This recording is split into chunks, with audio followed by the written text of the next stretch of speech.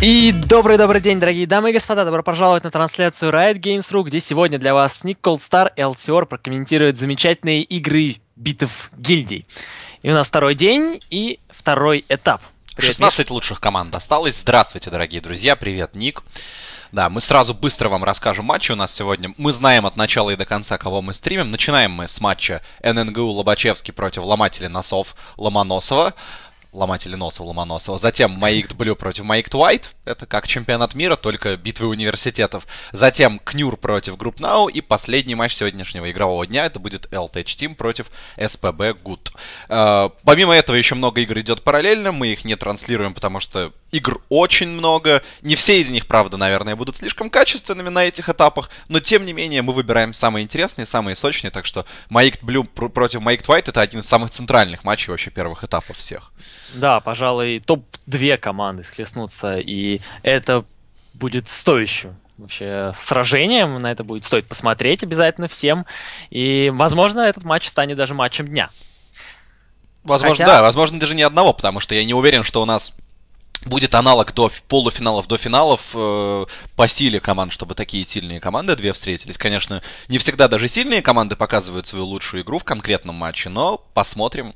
Посмотрим. Может быть, mm-hmm. сегодняшние команды устроят нам CLG настоящие. И... О, да, это вполне возможно. Кстати говоря, по поводу матчей, которых мы не увидим. Среди них это PSU Crew против uh, Nice Trime Guppy, Team Juicy Peppers против Runaway, uh, потом Meat Power против команды Мама сказала тащить, которых мы, кстати, вчера см- наблюдали. Мы, и. Team Juicy Peppers тоже вроде смотрели, если мне да. не изменяет память. Да. И Team Juicy Peppers мы смотрели тоже.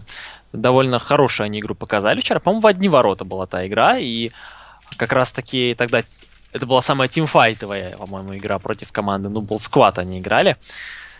Да, самая, ну, относительно ровная игра вчера из первого этапа. Так что э, представим вам быстренько составы нашего первого матча. В первом матче у нас встретятся команды UNN и МСУ, соответственно, это, я так понимаю, обе команды из МГУ, правильно я понимаю, Ник, да? Да, да, обе Отлично. команды. Ну и со составы у нас следующие. У команды UNN на топе Ганшке, в лесу Стил Скротум, на мидлейне Роксас, на декаре Йоло Сора и на саппорте Чик. Чик. Чик. Со стороны команды ломатели носов Ломоносова на топ-лейне Кокич, в лесу Круки на мид-лейне Юджин и bottom lane это АЗГЗ плюс Ликрит. ВП Ликрит. ВП Ликрит. ВП Ликрит. Прошу заметить. Такс. Такс. Нет, кстати, а, ННГЮ Лобачевский команда это ННГУ из Нижнего Новгорода, а не из МГУ, а, ребята. сори, сори, сори. Да. Окей. Поправочка небольшая. Итак, а, ну что ж, у нас вроде как начинается уже стадия драфта, пиков и банов. А, на ферст-пике находится команда из Нижнего Новгорода, UNN. А, тем временем... И у нас должен быть бан Блица обязательно, иначе, я не знаю, иначе будет беда. Удивляет бан Грейвса, кстати говоря, первым против АЗГЗ. Тут э, довольно интересное решение со стороны команды UNN. И вообще Количество... это не совсем тот патч, в котором нужно банить AD кого каких-либо AD Зачем так много тратить банов на ту позицию, которую сейчас отбанить просто невозможно?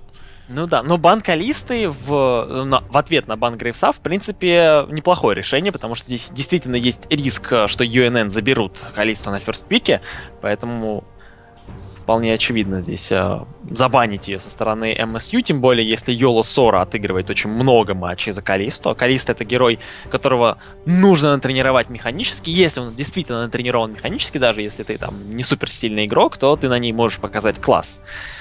Наутилус уходит бан вторым против команды МСЮ, против Ликрита, естественно. Джинкс банится. Третий Адекерри забанен в этом матчапе. Ну, вот если, если уж банить, действительно, была такая стратегия во все времена. Если вы пытаетесь отбанить ту позицию, которая никогда не отбанивается, вы тратите на нее все баны вообще, которые у вас есть, и еще и забираете, ну, то есть, Обычно эта стратегия делается на левой стороне против игрока, у которого 3-4 чемпиона, например, как это было, когда Amazing приехал в Северную Америку, Талисник бывшей команды Копенхаген Вулс, он uh-huh. стал играть в TSM, у него был чемпион пул из четырех героев, трех Cloud9 забанили, четвертого забрали. Он не знал, что брать, и забрал себе Валибира, на котором ничего не показал. То есть вот такой вот драфт тоже возможен, и я тогда ожидаю третьего бана со стороны МСУ, тогда мы можем увидеть вообще каких-то интересных, то есть остается из популярных нынче адешников, в принципе, Кейтлин, Корки mm-hmm. и Люциан, из относительно Люцан, популярных. Да, Когмао остается. А, и Севир, связ... да, Севир еще. Связка, да, еще и Севир. Связка Когмао Нами очень мощная, и она может, в принципе, появиться в этом матче.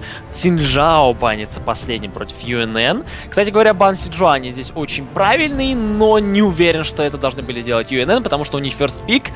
Сиджуани, они забирают трэша на first пике для Чика. Ой, сейчас, ну, Ликвид просто такой игрок, который зная, что он может отыграть на Блице, зная, что он более сильный игрок, чем, наверное, все игроки, в принципе, ну, почти все игроки на этом турнире, потому что все-таки Ликрит это игрок, который выступает на топовом уровне Стар-серии, элитного СНГ дивизиона, поэтому это не тот игрок, который сейчас там будет брать Нами или там Сону, он просто возьмет Блица и пойдет им крушить всех, потому что, в принципе, он может крушить даже те команды, которые находятся намного выше, чем Virtus.pro на этом персонаже. Ликрит прославился вообще своим лицом год назад еще, когда он играл в первом своем составе, в составе Empire на стар-серии.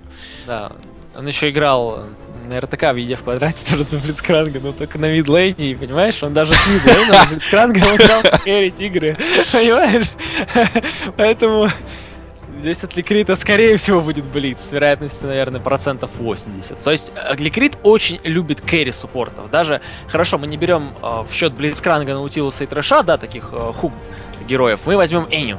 Энни тоже, на который он очень много ск- игр Скорее, это, это не carry support, это скорее playmake support. Это те саппорты, да, которые да. создают игровые ситуации, где твоя команда может, воспользовавшись ими, просто выиграть момент и выиграть потом из-за этого игру. То есть это, да, действительно стиль игры Ликрита в нынешние вот последние полгода этот playstyle, эта мета сместилась и немножко уступила мете utility саппортов. В какой-то момент был, был uh-huh. такой период. Сейчас, в принципе, пр- при правильном исполнении любая мета хороша. То есть и Энни, и Трэш, и Блиц, и даже там и Жанна, и Сорака, и Сона, все эти персонажи могут использоваться с должной эффективностью. То есть, в принципе, стиль игры Ликрита сейчас вполне подходит под мету без проблем.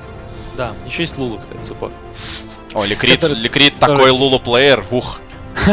Ух. Ну так, в ответ на трэша у нас Лиссандра и Грагас от Кокича и Круки.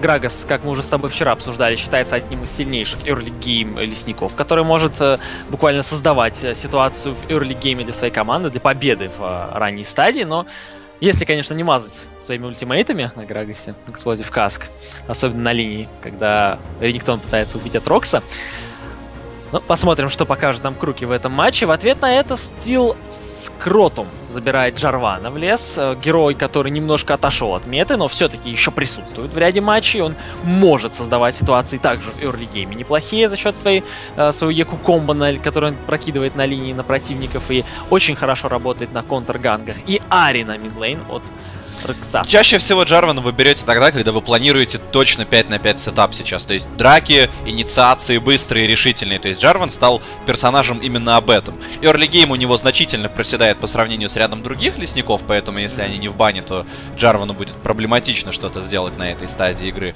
Но при этом, опять-таки, Mid-Late Game у него стал чуть послабее после всех этих нерфов, но он все еще остается viable пиком и оставался на протяжении последних почти двух с половиной лет, там, с маленьким перерывом на полгода. Маокай Люцин. Йола Сора берет Люцина и mm-hmm. Ганшки на Маокая у нас.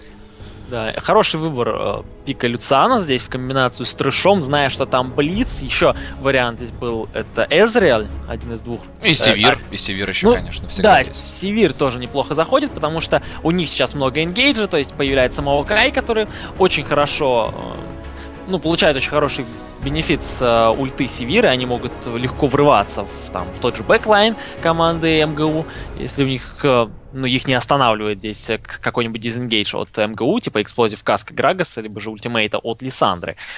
Но engage был бы у них действительно очень мощный, и Севирка бы могла спасаться от той же Лиссандры или от Грагаса с помощью своего шилда. Люциан неплохой вариант.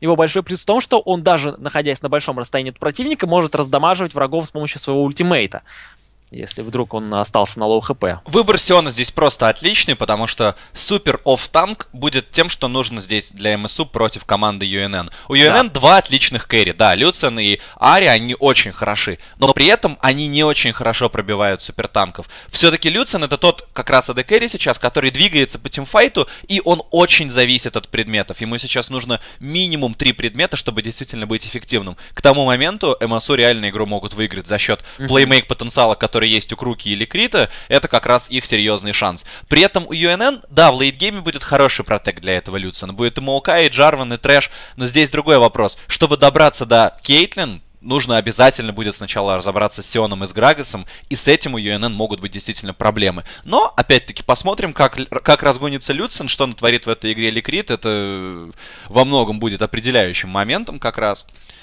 Да, игра обещает быть мега интересной. Кстати говоря, э, Круки очень часто говорит о том, что Кокич не играет на полезных героев на топе и все просит его завести что-нибудь полезное. И, видимо, Кокич все-таки внемлил словам Круки. Сейчас э, Сион является крайне полезным героем на топ-лейне.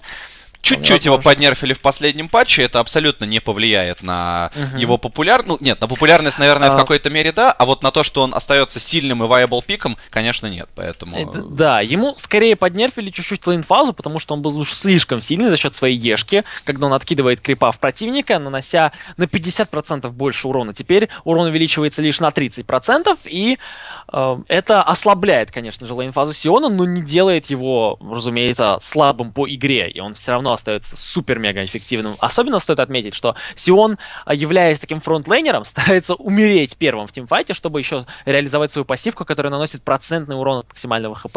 Это очень круто. По-моему, 10%. Ран- раньше Сионом просто любую линию можно было выиграть, при этом абсолютно не подставляясь. Это да. нечестный геймплей, и Сион, вот если там, да, брать персонажей, которые реально выигрывали линию, там, ну, допустим, там, взять Рениктона третьего-четвертого сезона, да, это герой, который реально выигрывал линию, но при этом каждый раз, когда он старался выиграть линию, то есть когда он делает вперед свой слайс, он подставляется. И это ваш шанс. Сион до шестого уровня просто за закидывает вас крипами.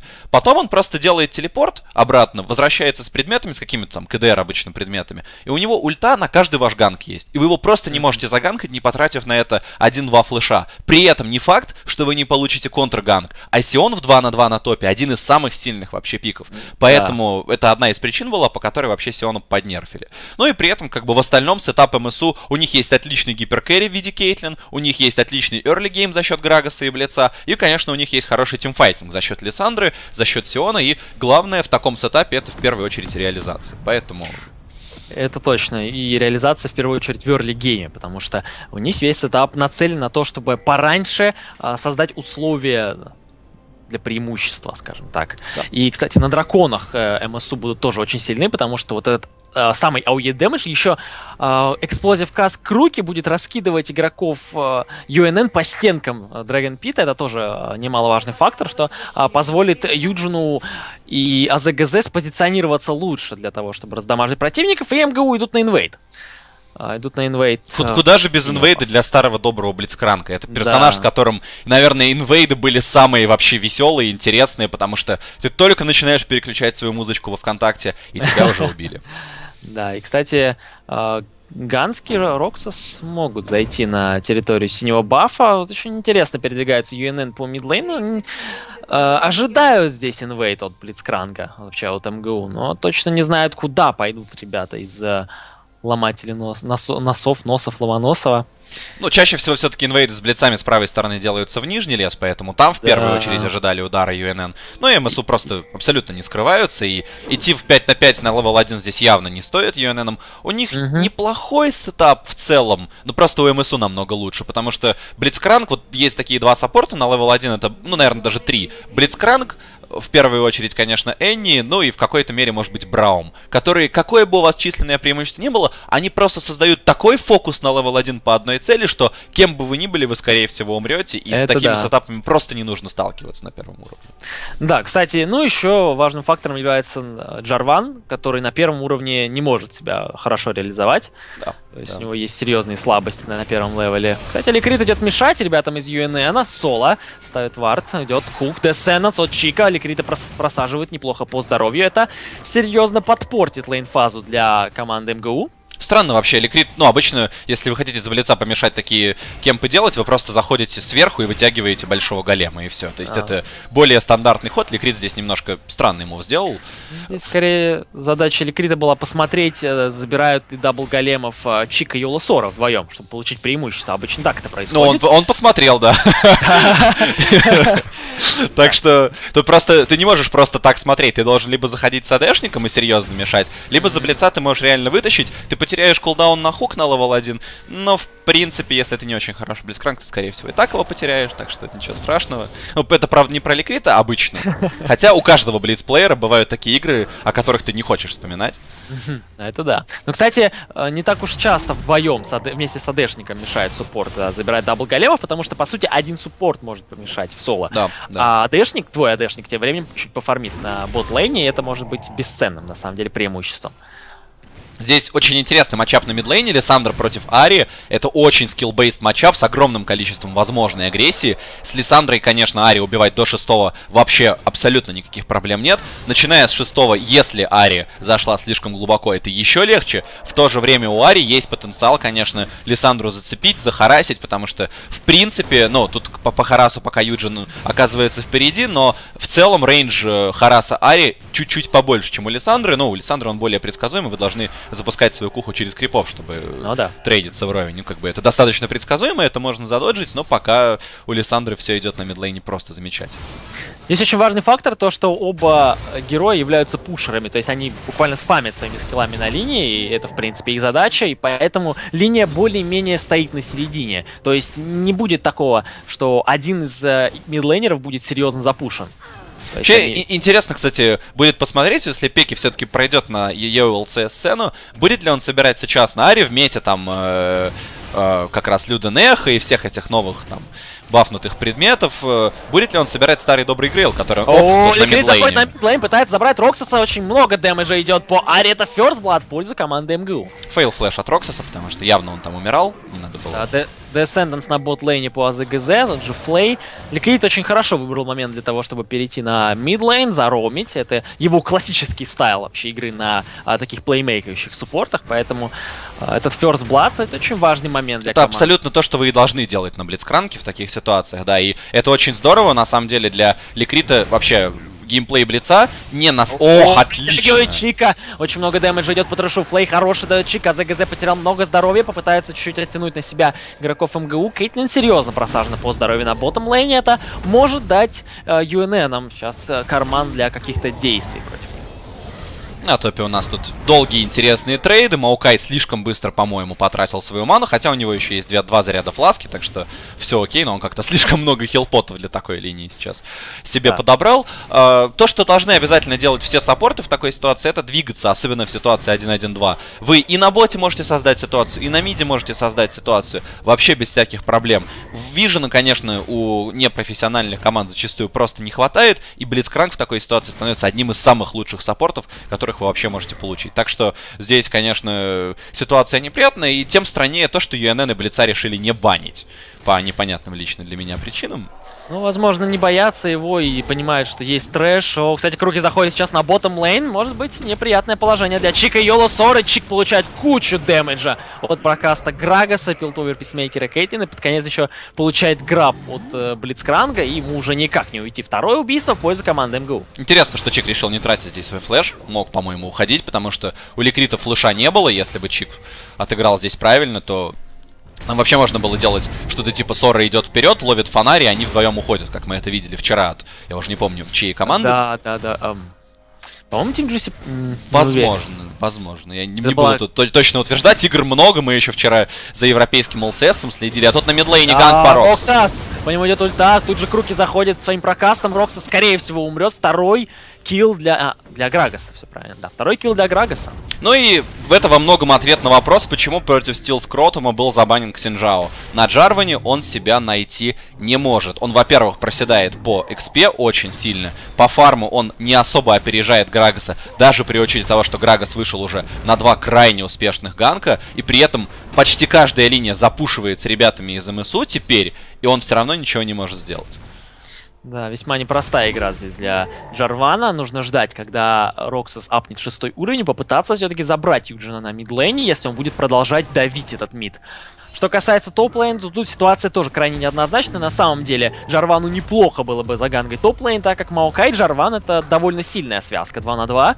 И, ну, тут Сиона, тоже... в принципе, не профитно ганкать. Во-первых, он абсолютно не зависит там от какого-то бешеного фарма. Во-вторых, его, в принципе, ганкать очень тяжело. Здесь, ну... конечно, стоит не давать Ликриту вот выигрывать. О, там пошла от Кокича. Ликрит заходит на топ-лейн. Маокай может погибнуть. У него сейчас нету уже опции для эскейпа, хотя он старается держаться. Ликрит получает... Что делает Ликрит? Пытается добить Маокай, ему это удается. Ликрит пытается уйти, но неудачно. Это будет первый kill для команды UNN. Что тут натворил Ликрит? Почему он просто не взял и не ударил своей ешкой по этому дереву, а решил бить крипа, и в итоге Маукай получил, кстати говоря, на этом ганке Ликрита больше пользы, чем вреда, потому что он отдал kill Маукаю, сам забрал себе kill, все он с этого ганка получил только assist и потерю экспириенса и золота с крипов для Маукая.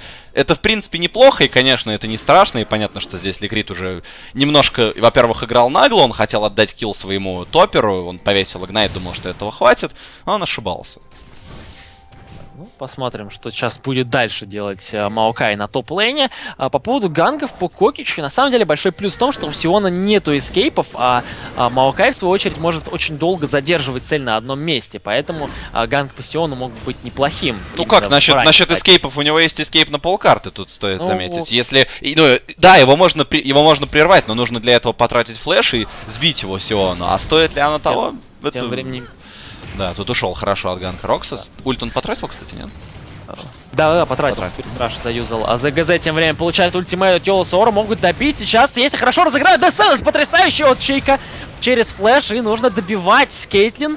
Лантерна была использована. Небольшой а, мискоммуникейшн прошел здесь а, у Йола Сора и Чика. Заходит на бот лейн Ликрит вместе с Круги. Попытается выжить Люциан. Телепорты пошли с обеих сторон. Но я думаю, что они ничего здесь не смогут сделать. Вся врывается Ганшки. Идет граб по Маукаю. Маукай оказывается под вышкой Т1. Его подкидывает Кокич. Скорее всего, Маукай здесь заберут. Шестой килл для команды МГУ баньте блеца против Ликрита, если у вас нет какого-то идеального плана на игру. Ну, потому что... А зачем? У Ликрита нет других пиков, которые так сильно могут выигрывать для своей команды игру в early гейме. Конечно, вся остальная команда играет очень здорово. Круки очень хорошо отыгрывает джангл. На мидлейне Юджин, обратите внимание, перефармливает Ари уже на 25 крипов. Даже ситуация на топе на 20. То есть МСУ в целом по классу выше. Конечно, проблемы есть у АЗГЗ, но как бы АЗГЗ оказался в типичной ситуации, когда Близкранг говорит, я хочу кэрить, а ты стой 1x2, и мне все равно, что у тебя там будет. Но он при этом все равно фармит столько же, сколько и Люцин, то есть он не позади. Он не сильно да. впереди, но и не позади абсолютно, поэтому... Ну, это Кейтлин. То есть Кейтлин это как, наверное. То есть два героя, которые могут спокойно стать один на два и чувствовать себя неплохо при этом. Наверное, третий керри это Грейвс будет, который а, тоже хорошо стоит один на два. При этом, если у него есть небольшое преимущество, то Грейвс может даже убивать один на два если правильно спозиционируется и рассчитает свои силы.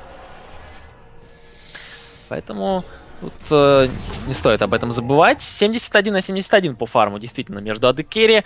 При этом у Люциана уже BF Sword плюс э, накидка на криты. У Кейтлин Pickaxe, она же Кирка плюс ботинок. Немножко отстает сейчас по дэмэджу Кейт, но все равно. Важно то, что Стилскротом купил себе все-таки mobility ботинок, и это ботинок, который требует реализации на Джарване. То есть это mm-hmm. не коровый предмет на этом персонаже, и он не требует какого-то дополнительного мувспида, чтобы давать энгейджи, поэтому это предмет, при котором вы обязательно должны сделать до 5-6 ганков за первую 20-минутку. Иначе этот ботинок себя просто не окупает, потому что Джарван сейчас особенно стал не таким уж и жестким танком, и если у вас нет ботинка на затанкованность дополнительную, да, либо нинджитабель, либо там угу. мерки, то вас просто будут ваншотать, и с, с этим ничего не поделаешь, и это будет ну, проблема. Да, Ninja Tabi, кстати, профитнее по голд эффективности, они же выше стоят, чем э, Mercury Threads, поэтому мы чаще видим... О, мерки просто сложно переоценить, когда против себя, например, такой персонаж, как Лиссандра, да, тут как бы ничего не поделаешь. О, Ликрита здесь заловили очень хорошо, Charm пошел от Роксаса, идут дальше, Spirit Rush был использован три раза уже, Ликрит практически погибает, флешится, не жалеет ничего Ари, прыгивает Грагас, Роксас получает тонну урона от Юджина и Круки, Explosive Cask от Грагаса, буквально спасает Стилскрота, и Джарван уйдет здесь. И это размен один в один. Стоит заметить, что здесь Ликрита очень долго спасала капля. Все-таки у него сейчас достаточно большой mana shield. За счет этого он так долго жил. Но при этом совершенно неудачно сыграл Юджин. Он очень долго реагировал на то, что его Блица поймали. И затем еще и долго очень давал свой Frozen Tomb по Ари, и из-за этого Ликрит в итоге умер. Но, тем не менее, Грага становится 4-0-1. Круки в этой игре просто вообще за гранью богоподобия на Грагасе. И, конечно, все идет очень хорошо для этого персонажа. Да, башня Т1 практически падает на мидлейну, не уверен, что Юджину удастся ее уничтожить, но он очень близок к этому, во всяком случае. 50% хп у трэша, я не думаю, что стоит здесь как-то продолжать э, трэшу бороться и где-то пытаться выловить кого-то. Хотя, если Чику удастся сделать удачный хук по Лиссандре или Блицкрангу, то вообще противостояние, э, любой teamfight станет значительно проще. Хотя, тоже сложно сказать, потому что Лиссандра сразу же дает ultimate свой в ответку. И кого здесь хукать в трэшу, совершенно непонятно. Трэшу здесь вообще ну, нужно хукать на teamfight. Если он хукает, то сразу Джарван с Маукаем вырываются. То есть на лейн-фазе там только по Кейтлин можно играть, играть по Блицу никогда смысла вообще нет. Вообще всегда matchup трэш Блицкранг был очень скилл-бейс, то есть Чик прекрасно понимал, что Ликрит здесь возьмет Блица. Почему он скилл-бейс? Потому что, в принципе, при идеальном отыгрыше трэша на каждый хук его, ну, на каждый хук Блицкранга у трэша может быть фонарь. Да. Но при этом, опять-таки, у Блица есть свои инструменты, чтобы и этот фонарь переиграть. То есть он, у него, во-первых, моделька большая, он фонарь хорошо закрывает. Во-вторых, он может за, на время и подбросить, и дать сайленс. В общем, все это он может сделать. Мне совершенно пока не, не нравится, как Стилс Кротом себя реализует, потому что он ничего не смог придумать, чтобы законтрить все эти роумы или крита. Абсолютно mobility не реализованы, и в итоге его команда за первые 13 минут позади очень сильно. Да, на топ-лейн он попытался зайти, но уже слишком поздно. Сион уже вышел на достаточный уровень для того, чтобы э, быть э, в безопасности практически от любого ганка. Якукомбо, кстати, от скилл попытался заингейджить. Тут же идет ультимейт от Юджина. Хорошо выкидывает Жарван. Жарван использует катаклизм, но опять же, это уже слишком поздно и не имеет смысла. Жарван умирает. Восьмое убийство в пользу команды МГУ. Йоло на, на, на боте у АЗГЗ все время опасная ситуация, О, потому что... Пытается Йоло да. забрать АЗГЗ, но... Но сейчас Ликрит тут, кстати говоря, свое веское слово сказать может. У него почти откатился ультимейт. Йоло попал в тропу, О -о -о. с флеша пытается. Yeah. Да, Йоло Сора попытался здесь забрать Кейтин. Кстати говоря, все еще пытается это сделать, но, увы, неудачно Йоло Сора умирает. Или Крит, кстати, подбирает третье убийство в этой игре. У него там сейчас может с бэка быть, я не знаю, что, что он там, Шраудик себе будет, наверное, собирать. Может быть, вообще там... А, чаще всего сейчас Ликрит, насколько я помню, играет через капля каталист в праведную славу. То есть такой получается одновременно и затанкованный билд до безумия, и больше utility для команды появляется с этим предметом, так что достаточно сильный билд. И опять мы видим Маукая с Rod of Ages, когда его команда очень сильно проигрывает. Это не тот билд, который сейчас, к сожалению, может помочь вашей команде, потому что АП дэмэджа в, этом, в этой команде достаточно. Ари, один, пусть и 1-3, но у нее есть скилл, у нее есть Морелла и 2 Дарана, она, в принципе, магического урона выдаст сколько-то. А вот кто будет сейчас урон танковать, а дэмэдж дилеров у МСУ Грагас разогнанный, потому что у него там и, и уровень высокий, и дэмэджа очень много в целом. Лиссандра 1.03, Кейтлин 0.1.3, хоть ее и загнобили на линии во многом, и особенно последние трейды складываются неудачно, но АЗГЗ перефармливает Йоло Сору сейчас, и у него да. Infinity будет чуть ли не раньше, чем у Люцина. И в этой связи э, тут непонятно, какие общие опции есть у команды UNN э, для того, чтобы реабилитироваться, потому что разница серьезная по голде, и дракон будет через 12 секунд. Вот это, на этом драконе, пожалуй, может и решиться, кто же э, все-таки получит, ну, преимущество уже у МГУ есть. Вопрос в том, смогут ли они его укрепить здесь, этим драконом, или же все-таки UNN как-то камбэкнут в этой ситуации, и Юджин стоит на варде сейчас, это Интересный. вообще есть такая вещь еще, как не контестить дракона. То есть это самое О, мудрое да. решение, которое сейчас могут сделать UNN. К сожалению, вчера... О, притягивает Чика! Или Крит очередной граб дает, и это минус Чик, конечно. Теперь уже драться нету смысла, хотя телепорт прилете... пришел от э, Ганшки. Э, замедление идет по стилскротуму. Чарм пошел. Эйсен захолод Кейтлин. Прожимает Роксоса. Ульта пошла от Кокича. Будет энгейдж. Еку комбо. Жарвана не удается ему состилить дракона. Падает моментально Джарван под ультимейтом. Юджина Граб очередной от Ликрита. Гански оказался вне позиции. Спирит Раш от Ари забирает Лиссандру. Флешится. Пытается разыграть еще дальше игроков из МГУ. Но, увы, неудачно падает еще один игрок команды UNN. Размен 3 в 1 в пользу МГУ. А ведь можно было потерять только второго дракона и всего. У нас просто в каждой игре вот сценарий получается один и тот же. Команда, которая проигрывает, она не может сдержаться от того, чтобы не пойти и не законтестить этого второго Дрейка. Это одна из самых вообще базовых ошибок, которые можно в 5 на 5 сделать. В соло да, там в, 5, в ранговых просто играх 5 на 5 вы можете контестить каждого дракона. Во-первых, научитесь тимфайтиться хорошо. Во-вторых, в принципе... Оп, у нас Оу, флэшится Ликрит от Descendants, понимает, что если он попадется на этот граб, его могут сфокусить очень быстро, хоть и э, он уже довольно затанкованный на своем блицкранге. У него помимо капли есть уже Ruby Crystal и Sightstone, дает ему неплохой пул здоровья. Поэтому даже... Да и в принципе Блиц, Блицкранк никогда не был сквиш-саппортом, поэтому... Да. Сейчас вообще считается одним из а, самых затанкованных суппортов за счет своей пассивки, за счет а, большого прироста хп. И, кстати, вот Блиц при пришел в ответ на как раз трэша, когда трэш оказался занерфленным и стал довольно слабым, как фронтлейновый суппорт сейчас трэш.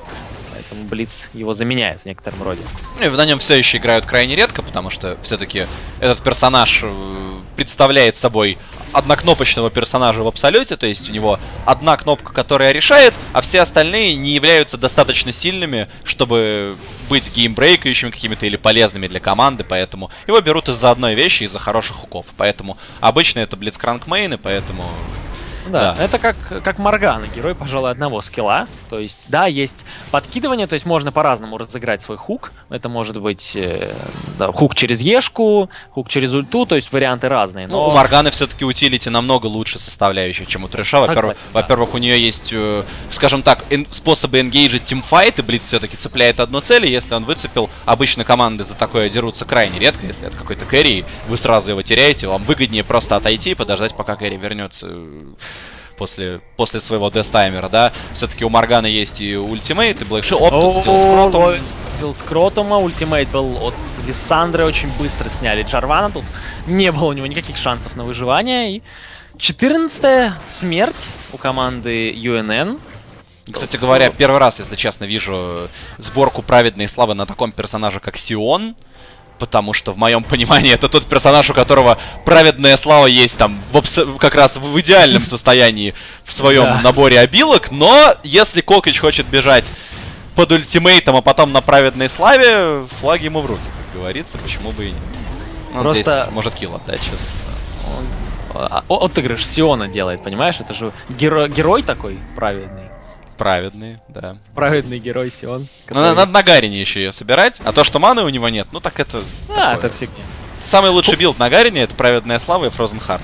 Вас. И, и перчатка потом еще, чтобы от тебя не убегали, а ты да, кого тем временем Фук идет по Чику, его моментально забирают. Еще один килл в пользу команды МГУ. Башня Т2 они уже забрали.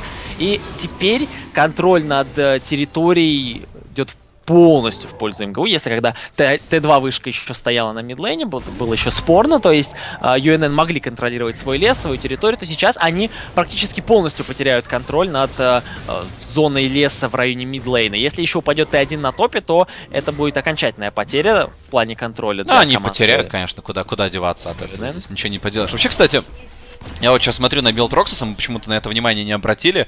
На Ари против Лиссандры вы билдите Morellonomicon только если оба игрока и лесники не заходят на мидлейн, и оба игрока играют пассивно. Только да, в да. таком раскладе Morellonomicon на Ари профитный. Если так. лесник заглядывает на мид, если у вас идут скирмиши, если против вас в лесу Грагас Лиссандра на мидлейне, Abyssal это ваш стопроцентный выбор. Потому что лучше вы будете недофармливать за счет отсутствия маны и КДР, чем вы будете недофармливать, потому что вы отдали Лиссандре 4 килла. То есть это так, такое вот очень простое правило. Сейчас Эбисел слишком профитный предмет по сравнению со всеми остальными, чтобы чтобы его не собирать в таких матчах. Да, абсолютно верно. Причем это э, как в былые времена, я помню еще. По-моему, в третьем сезоне это было. Абиссал собирали практически в конечно, каждом матче конечно. на Аре.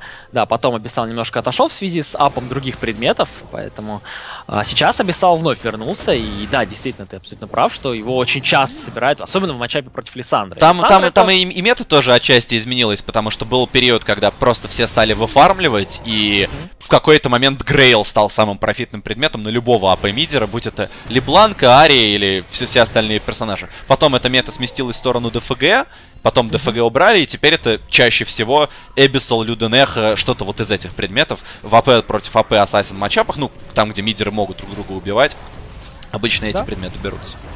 Да, кстати, поэтому именно Юджин играет тоже через Abyssal Скептор, плюс Морал на Микон. Э, далее у него будет, сложно сказать, Blasting One, это может быть и Void Staff вполне. Да, должен быть, здесь наверное, он... уже здесь Void Staff. Ну, просто до, до Рабадона, Рабадон третьим на Лиссандру, он откладывает очень сильно и Жоню, и Void Staff, и да. это не совсем выгодно просто на таких персонажах, как Лиссандра которые обязательно должны в тимфайте и Жоню иметь, и потом с танками тоже, ну, чисто за счет ОЕ разбираться во многом. Это поэтому... точно. Но с тем преимуществом, которое имеет команда МГУ, в принципе, здесь Жоня не является предметом первой необходимости, хотя и на Лиссандре является корой темом. Посмотрим. Вроде Юджин в файтах живет более-менее, хотя у него есть одна смерть все-таки. Ну, тут просто сноубол очень большой, поэтому любой предмет будет хороший. Войтстав, и Рабадон, и Жони. Пока Войтстав особо не против чего собирать, потому что Аегис UNN э, себе не делают, хотя стоило бы, конечно.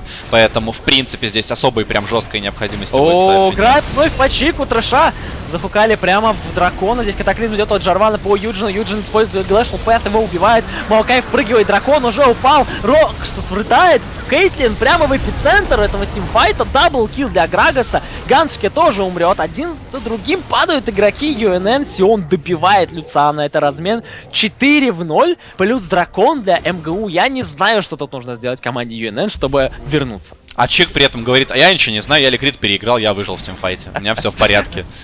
Команда, команда нафидел, я ни в чем не виноват. Ну, МСУ просто на голову сильнее, конечно, в этом матче. И заметно, что МСУ, в принципе, играют очень скоординированно, очень правильно. Это всегда приятно и всегда понятно, когда у вас в команде есть игрок, который очень долго играет на высоком 5 на 5 уровне, да, в команде Virtus.pro играет Ликрит последний год почти уже. Поэтому вот как только лейнфаза закончилась, сумбур в действиях МСУ какой-либо пропал. Они просто в любой момент времени, они знают, что они делают и зачем. Поэтому... Да, Ликрит плюс ко всему сильный шатколер, да, поэтому да. он всегда говорит, что нужно делать. То есть э, бывают суппорты, которые не колят, и э, их присутствие не так сильно замечается в игре. То здесь э, Ликрит совмещает в себе сразу несколько факторов. То есть это и э, плеймейкающие суппорты, то есть, ну, там, кэрри суппорты, плеймейкающие суппорты, да, но и плюс шаткол, то есть тут два в одном. Поэтому Ликрит является, пожалуй, одним из сильнейших суппортов в СНГ вообще. Да, безусловно, он входит в тройку точно, а кто топ-1, но это уж вопрос, который на каждом LAN-финале Стар-серии выясняется по новой, и приходят все новые и новые варианты в голову, потому что все-таки саппорт это очень сложная для 5 на 5 роль, действительно, поэтому мета меняется, игроки адап пытаются адаптироваться, очень сложно понять, что и как работает, потому что там, например, тот же Арчи, да, который является одним из самых лучших тоже саппортов на протяжении долгого времени, он не может играть в 5 на 5 играх то, на чем он больше всего наигрывает в Сулуку, например. Просто потому, что его команде это не нужно, поэтому... Это, это точно. А, а есть еще суппорт, который на всех ланах занимает третье место. Есть, есть такой саппорт, да, поэтому жалко команду Ашер на этих ланах. Не, повезло им Димонку взяли себе, да. Ну, хотя, с другой стороны, это лучше, чем четвертое, понимаешь? То есть теперь... Ну, да. Вопрос, кто займет а, Будет энгейдж от Юджина, да, он врывается и ультует сразу же по себе. Энгейдж пошел от команды МГУ, выкидывает Маокая, разыграют сейчас через фронт лейн, притягивает тут же стил с кротом, Ликрит, Гански может умереть здесь от рук Кокича, Джарван уже упал, да, два хила для команды МГУ, идут они вперед, Чик пытается захукать, Юджин попадает под Descendants, но Йоло Сора за это получает автоатаку, крит от АЗГЗ и Здесь уже очень сложно что-либо сделать, как-то подраться за Т3 тауэрку команде из UNN. Скорее всего, МГУ ее заберут. Инициация Юджина была так себе, он сделал ее слишком быстро, команда не готова была поддерживать. Но потом Кокич и Круки просто вытанковали по триллиону урона каждый. И... О, врывается Круки, flash, body slam, идет по Йолу Сору, пытается Чик захукать кого-то из игроков. МГУ, но уже это не является никаким образом полезным, и ингибитор падает у команды МГУ. Финиши здесь не получится, можно либо сразу пойти на барона, либо бэк барон делать, потому что Дракон не скоро, на третью сторону без барона сейчас с МСУ просто не пойдут. А пока команда противника будет отбиваться от суперминьонов по двум линиям, можно абсолютно спокойно забрать барона. Даже не надо тогда уже после барона по третьей стороне идти, можно финишить абсолютно спокойно и так, тем более с таким преимуществом. Да, кстати, по поводу энгейджа, который сделал Юджин. Обычно так энгейджит на Лиссандре, когда есть Джонис Hourglass, сразу же идет ультимейт по какому-то игроку э, команды противников и используется Жоня. То есть э, в таких энгейджах очень редко используется ультимейт на себя. Тут там Это... два, два варианта есть. Есть вариант, что вы просто въезжаете вперед, даете ульту, чтобы замедлить всех вокруг, чтобы команда успела под, под эту инициацию подойти. И сразу после этого становитесь Жоня. То есть вы, получается, ну, где-то секунд на 5 полностью неуязвимом состоянии. За это время, конечно, команда может подойти и противника разобрать. Ну, а противник вынужден драться, потому что Лиссандра кого-то зарутит, кого-то просто замедлит. Ну, если да. правильный прокаст нажать за Лиссандра, то так и, и будет. Это фейкер мета, когда используется Glacial Path, потом сразу же flash, W и ульта. И как раз. Да, да, да. Это, ну, это одни, одни из самых вообще лучших комбо на Лиссандре. Сейчас Лиссандра плееров по всему миру очень много. Правда, стало меньше, слава богу, в последних патчах. Все-таки был момент, когда Лиссандра была топ-1 пиком вообще в начале этого года. И на нее просто никто не знал, что делать. И потом все поняли, что просто надо подбирать такие сетапы, в которых можно 5 на 5 драться всегда. И Лиссандра чуть-чуть стала все-таки менее популярным персонажем. Да, ну плюс ее всегда контрят Микаэлой. И, кстати говоря, здесь Микаэла нету чика. Обычно рашат Микаэла чуть ли не первым предметом. Но суппорта очередное притягивание от Ликрита. Стирают просто с лица Саммонер Рифта чика.